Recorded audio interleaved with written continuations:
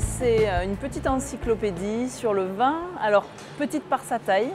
Euh, son contenu est bien encyclopédique hein, puisqu'il va couvrir euh, des sujets très variés sur le vin qui vont aller de la production du verre jusqu'au finalement de la vigne pardon jusqu'au verre avec bien sûr la partie déchets. on va évoquer également la dégustation du vin, ses techniques, ses étapes, les défauts du vin. Euh, on parlera également de la consommation, le service, la garde. Donc le prisme est très large, euh, comme on peut le retrouver dans la plupart des encyclopédies, avec une petite spécificité, cela dit, c'est son aspect très visuel et très ludique, euh, qui était un petit peu le pari sur cet ouvrage.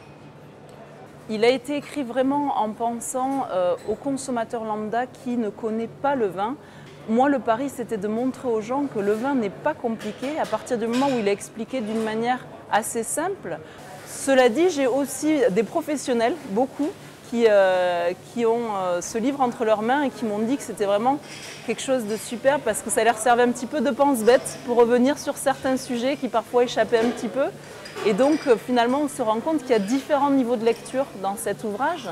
Euh, on peut aller sur des choses parfois très techniques, comme sur des choses très légères, comme le vin au restaurant ou des choses comme ça, qui font qu'on peut finalement intéresser un public assez large.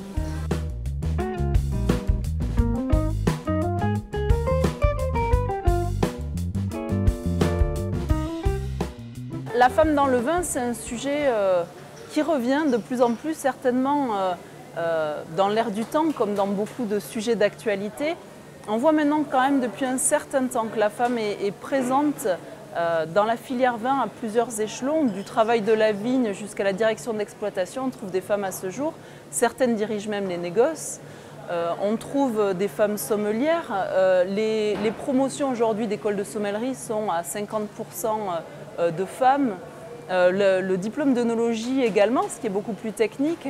Donc c'est bien l'idée qu'on a de plus en plus de femmes dans la filière et qu'on arrive petit à petit euh, à peut-être un niveau d'équité, bien que le travail euh, à la vigne et au chai soit un travail très physique, mais on voit des femmes vraiment euh, s'épanouir dans ces, dans ces domaines-là également.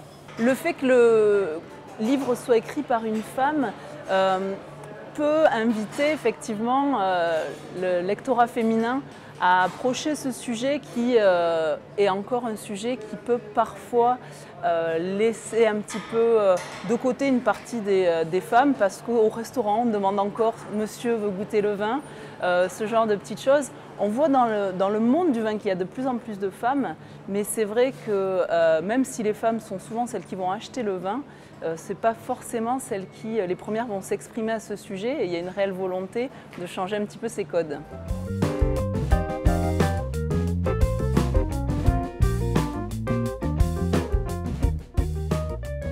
Nous nous trouvons aujourd'hui à Darwin pour ce petit rendez-vous. C'est ici que j'ai établi mes bureaux. Euh, Darwin, pour moi, c'est un lieu qui euh, m'a beaucoup apporté dans euh, toutes ces évolutions dans la filière vin. Ce n'est pas un lieu spécifique au vin, mais c'est un lieu où se retrouvent plusieurs personnes qui travaillent dans le vin. c'est un lieu qui est très ouvert à la culture. Le vin en fait partie, avec une forte sensibilité aussi à des aspects de solidarité et d'environnement également, qui sont euh, des idées qu'on soutient, qu'on essaie de soutenir dans la mesure où l'on peut dans la filière vin. Mais c'est vrai que c'est un lieu pour moi qui m'a apporté une forte, grâce à son émulation, beaucoup d'inspiration pour de jolis projets professionnels. J'anime tout au long de l'année des dégustations pour euh, le grand public, euh, les personnes euh, sur Bordeaux qui souhaitent découvrir un peu plus ce produit. On a pris l'angle de faire ça d'une manière assez décontractée, conviviale et ludique le soir, ce qu'on appelle un after work. Ça se passe dans différents lieux de Bordeaux, on change chaque mois, on essaie de trouver un lieu un petit peu original euh, et euh, on arrive tous les mois à rassembler plusieurs dizaines de personnes qui souhaitent en apprendre plus sur le vin avec des méthodes qui se rapportent un petit peu à vinographie, c'est-à-dire très ludiques, très pédagogiques. On a toujours nos petites fiches sous forme d'infographie et on déguste à chaque fois 4 ou 5 vins. Et c'est vrai que les gens apprécient à la fois la chaleur des lieux qu'on choisit, bien entendu les vins qu'on va faire goûter et toute l'explication qui va avec.